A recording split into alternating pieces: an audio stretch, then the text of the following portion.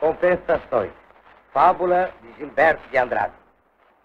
Pela estrada de Macadame, volta do pasto um burro a passo lento, sofrendo o triste vexame de ser burro, ser filho de jumento.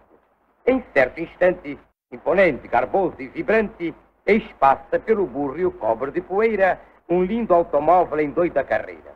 Empoeirado e humilhado, o burro segue de mansinho seu caminho. No fim da estrada, logo na entrada da vila, encostado a um casebre abandonado, está o alto parado e vazio. Em volta ninguém.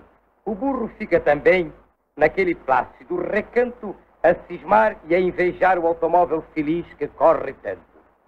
Mas, sem que se saiba como, vastas e tredas labaredas em grande assomo invadem o casebre, de repente devorando tudo. O burro afasta-se prudente, o pavor a bailar nos olhos de veludo.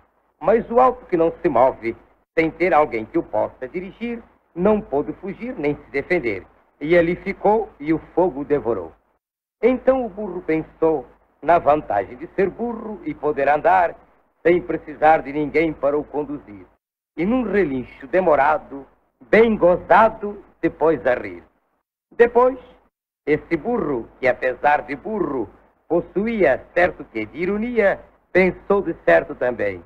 Quantos homens existem correndo e vencendo pela vida além, como os altos guiados e manobrados pela mão de alguém?